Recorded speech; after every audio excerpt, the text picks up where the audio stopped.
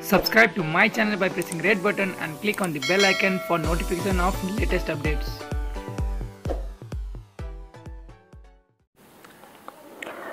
शरीरमा एन्टिबडीको मात्रा बढी देखिएपछि प्रधानमन्त्री केपी शर्मा ओली थप परीक्षणका लागि बिहिबार अपरान्न सिङ्गापुर गएका छन्। प्रधानमन्त्री ओलीको सिङ्गापुर स्थित नेसनल युनिभर्सिटी अस्पतालमा मृगौलाको कार्यक्षमता र औषधिको प्रभाव सम्बन्धमा परीक्षण हुनेछ। दुवै मृगौला प्रत्यारोपण गरेको बाह्र वर्षपछि खराबी देखिएको छ। ओलीको शरीरमा एन्टिबडी देखिएको निजी चिकित्सक डाक्टर दिलीप शर्माले बताए। डाक्टर शर्माले भने प्रधानमन्त्रीको सम्पूर्ण स्वास्थ्य परीक्षण हुनेछ। उपचारको मोडालिटीबारे थप नयाँ कुरा पनि आउनेछ। ओलीको उपचारका लागि सातदेखि दस दिनसम्म लाग्ने शर्माले बताए। ओलीको प्रधानमन्त्री ओलीले यसअघि दस दिन साउन अठार गतेदेखि सत्ताइस गतेसँग सिङ्गापुर स्थित नेपाल युनिभर्सिटी अस्पतालमा उपचार गराएका थिए। एन्टिबडीलाई शरीरबाट निष्कासन गरी निराकरण गर्ने उपचार विधिलाई निरन्तरता दिन उनी पुनः सिङ्गापुर जानु परेको डाक्टर दिव्या सिंह शाहले बताइन् डाक्टर शाह सिन ओलीसँगै सिङ्गापुर गएकी छिन्।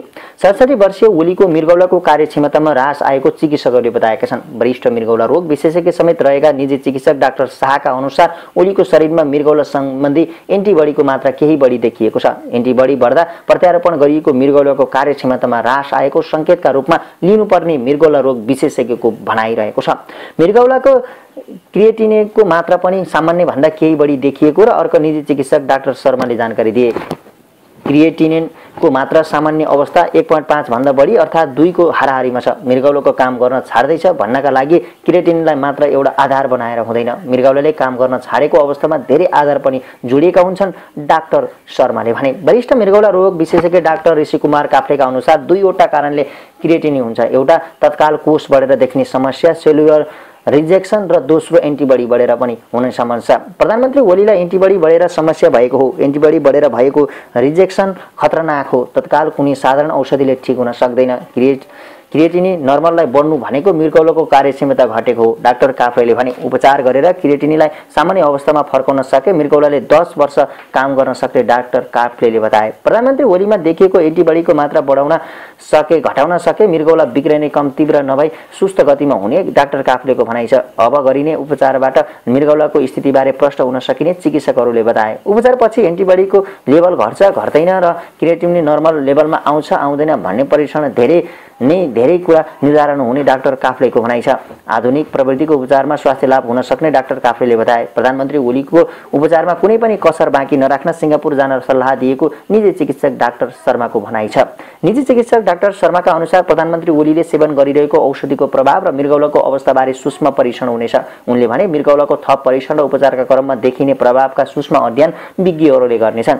सिङ्गापुरमा रहँदा शरीरले निष्कासन गरेको विभिन्न एन्टिबडीको जाँच गरिनेछ। नयाँ प्रविधि भएको र उपचारमा पनि नाम कमाएका कारण सिङ्गापुर जानु परेको डाक्टर शर्माले बताए। नेसनल युनिभर्सिटी अस्पतालका विज्ञ चिकित्सक र डाक्टर शाहसहितको टोलीले मृगौलाको थप परीक्षण र क्षमता अभिवृद्धिका लागि आवश्यक उपचार समेत गर्न जनाएका छन्। यसैबीच प्रधानमन्त्री ओलीको स्वास्थ्य अवस्था बिग्रँदा समेत गुपचुप राखिएको भन्दै नेपाल चिकित्सा सङ्घका अध्यक्ष डाक्टर मुक्तिराम श्रेष्ठले आपत्ति जनाएका छन्। राजधानीमा बिहिबार आयोजित साक्षात्कारमा उनले भने राष्ट्रको ढुकुटी खर्च गरी उपचारमा गराएपछि सबै जानकारी दिनुपर्छ।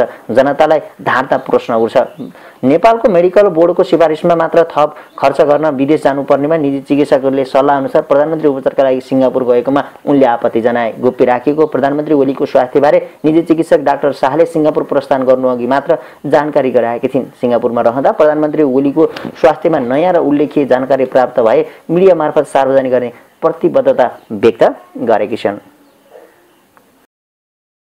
Subscribe to my channel by pressing red button and click on the bell icon for notification of latest updates.